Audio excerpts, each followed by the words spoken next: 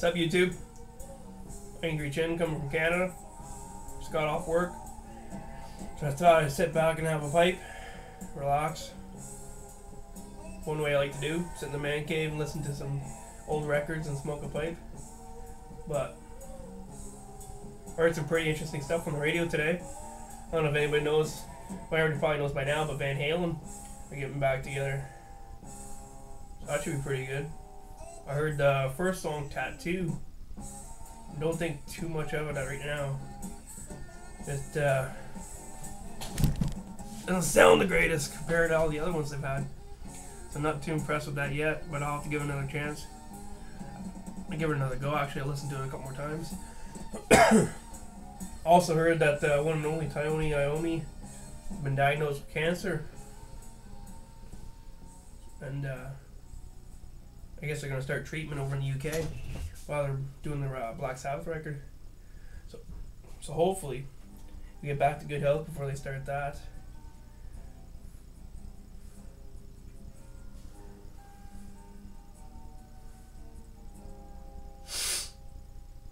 Got a bit of a cold. Good old typical Canadian weather. It's been snowing since 4 this morning. 15, 20 centimeters.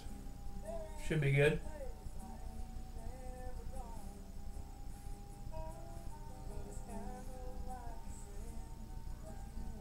That's about it, though.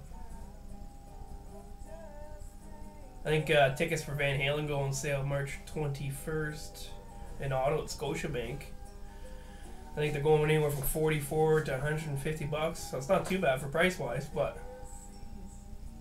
I'm not sure if I'm going to go or not. I don't know if it'll be any good either. i have to get the album. I know it's coming out next week sometime.